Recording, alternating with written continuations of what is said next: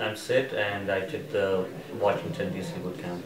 Boot, camp is pretty intense, uh, you know, three days and uh, lots of information. Uh, I felt uh, the kino turn and body language positioning really interesting and uh, I have used a lot as well. So it's it's pretty good and uh, I think that's that's something which I look forward to use in the next few months and a few years.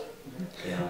Oh yeah, Wing Women were great. You know, we had the party last night and they were uh, always, uh, you know, very receptive and uh, bef- befriending the target's friends. It's it's really great that they're around and you know, the coaches.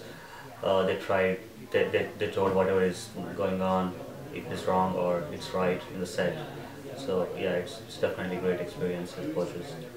An Indian guy, an Indian man, and taking a boot camp with with an Asian man, and like you know the majority being Asians. Did you feel like there was a disadvantage for you, or did you feel like you couldn't take in as much? Uh, no, not really, because uh, I think the culture is very similar.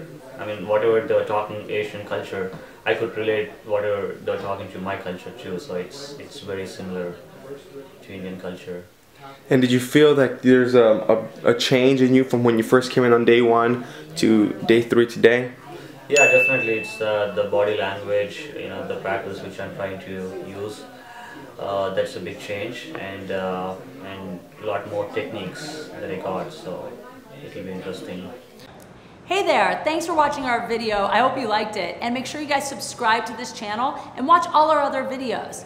Great news too. Every Monday, we'll be putting out a new weekly video. That's right, we've got educational seminars, street interviews, uh, fun infield pickup videos, and anything else we can come up with that's fun for you guys to watch. So check back for that every Monday.